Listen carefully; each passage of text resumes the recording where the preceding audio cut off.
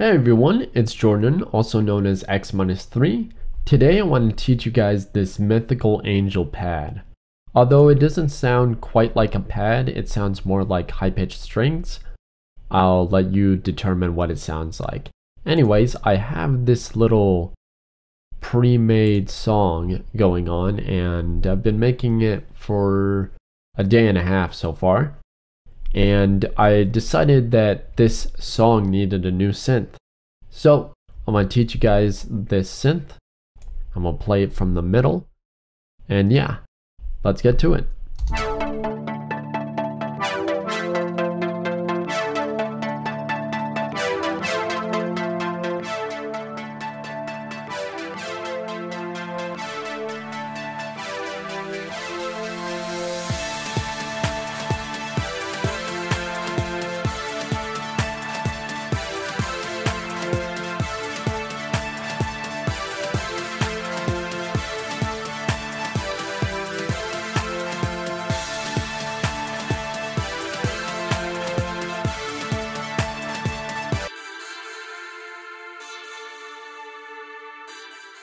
Alright, so the first thing we're going to do is throw in a combinator. Rename this, uh, I don't know, Angel Pad or Mythical.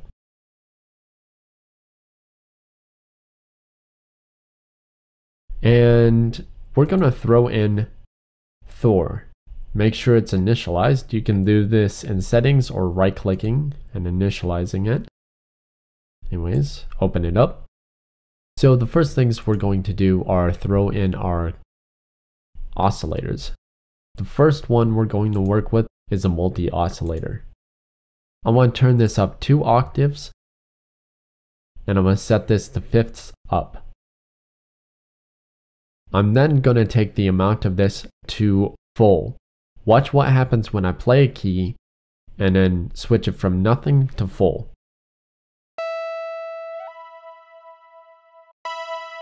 It gets much more fat because it's detuning all of its frequencies. Anyways, next go to oscillator 2. Oh, I'm sorry for oscillator 1, you want to make sure it's on the very bottom one. It's a pulse.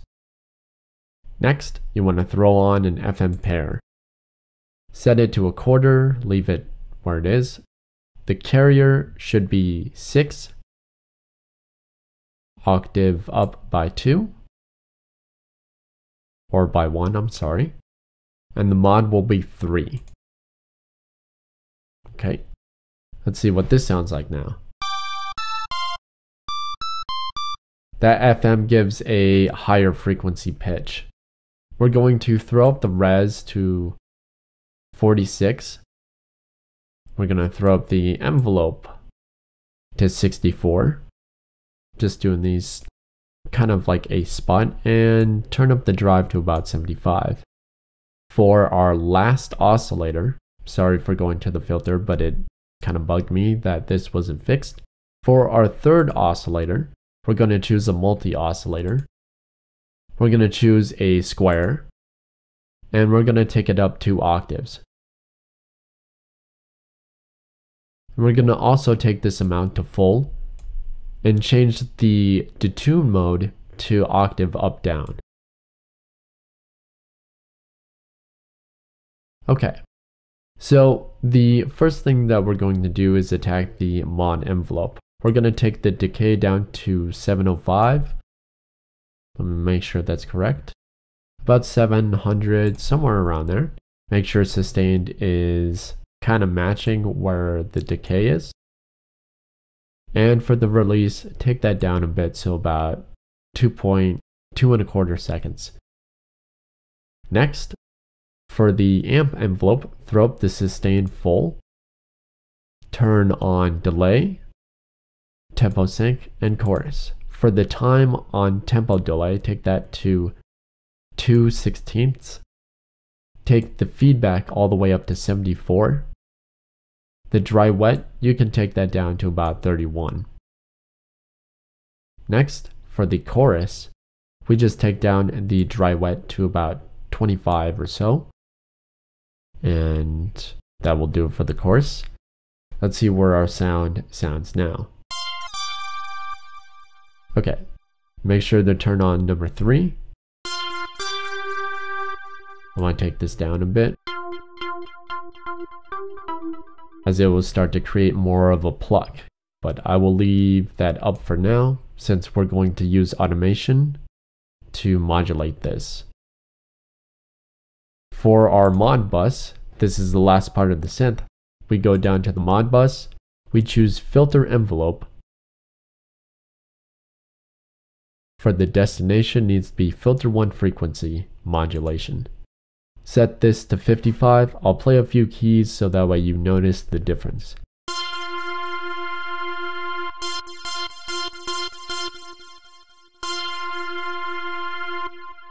It gets a little bit sharper.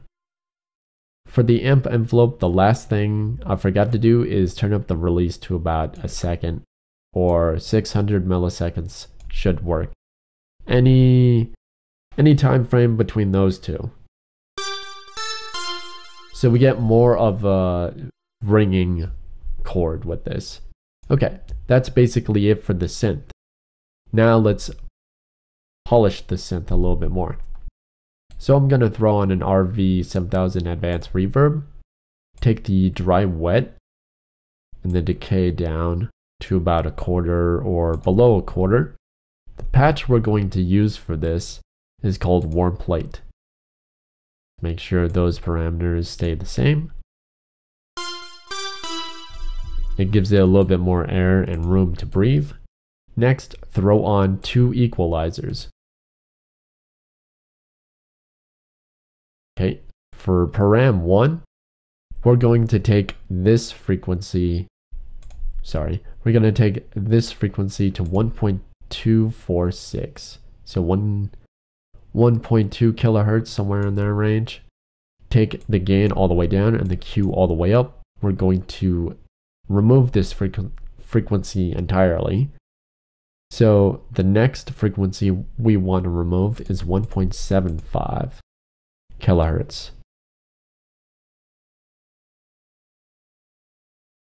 All right, take the gain. We're going to take this a little bit down, but not all the way down negative 10 decibels, Q all the way up.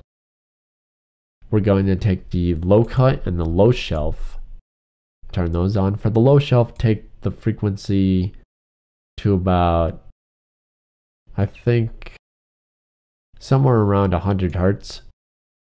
Throw the gain all the way down and the Q, make sure that's as low as it can go. For high shelf, turn this on and make sure the gain is boosted by 1.1 and the Q just leave it at 0.5. The next two frequencies we want to take out are some harsher harmonics. So for P1 of our second EQ, take this to 5 kilohertz. And throw the gain all the way down and the Q all the way up. The second parameter, you want to take this all the way to 20,000 kilohertz, throw the gain all the way down and the Q all the way up. There's a lot of high ringing that I don't like in the 20,000 kilohertz range. I don't know why this won't go higher. I've done hearing tests and I can hear 21,000 kilohertz, so I don't know why we just stopped there. Anyways, let's see where our synth is now much more happy.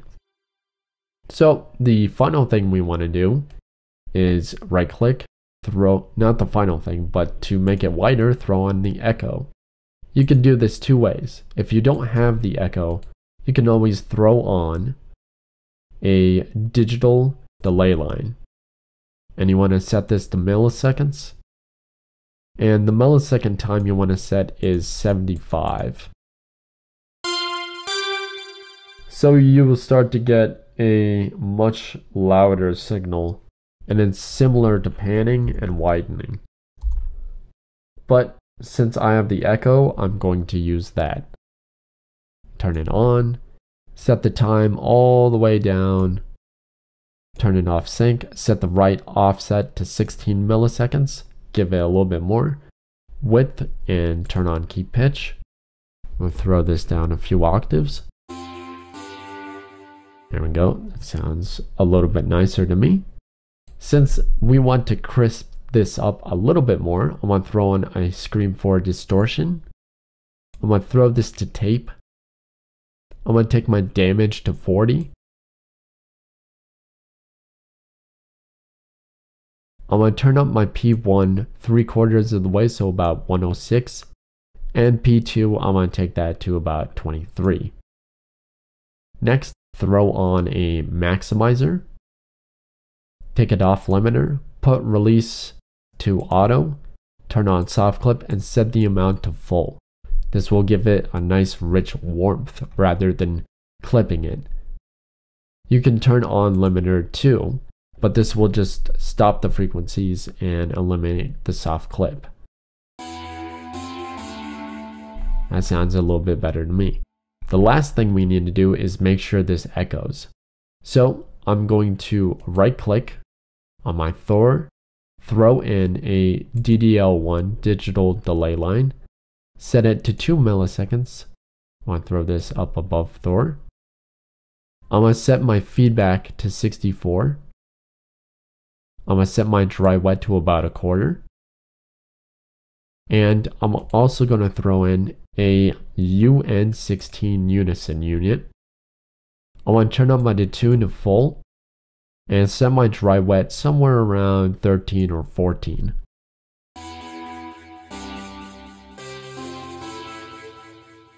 Okay, now the last thing you want to do is open up your show programmer, choose Thor, rotary one, the target needs to be the filter frequency. Make sure it's filter frequency 1. Rename this cutoff.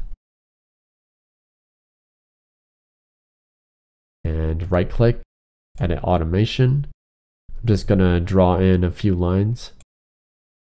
So extend this. I want to choose C major.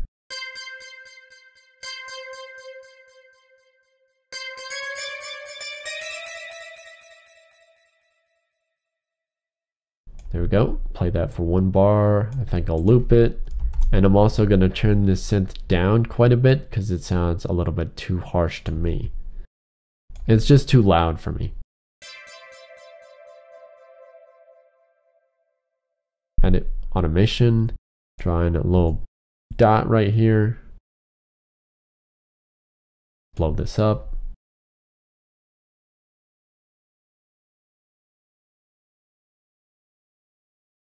That's too much. There we go. So now I'm going to take my rotary down, plop a point up here, so that way it sweeps into the sounds. Now this 64, this parameter over here, this is the default value. So I want to set this at 0 instead of 64 so it doesn't start in the middle. So now let's have a listen to how this sounds.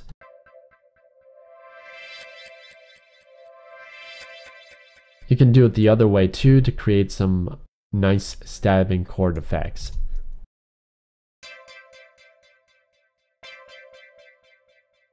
So thanks for joining me and I'll see you guys tomorrow for another awesome synth or another cool tutorial. Thanks for checking me out on Tropical uh, Wednesday and I'll check you guys out later uh, tomorrow for a birthday special. Yep, so stay awesome and be safe.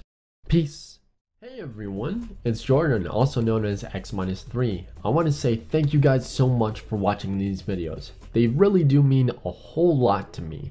And I spend a lot more time making these videos than I do probably my own music. But anyways, I want to say thank you guys so much for watching these videos. They really do mean a lot to me. Be sure to subscribe for more since they come out every single day. And of course, I'm to start tackling on more information and maybe soon some more videos. I'll check you guys out um, tomorrow for a birthday special. And yeah, take care, be safe, and stay cool. Peace.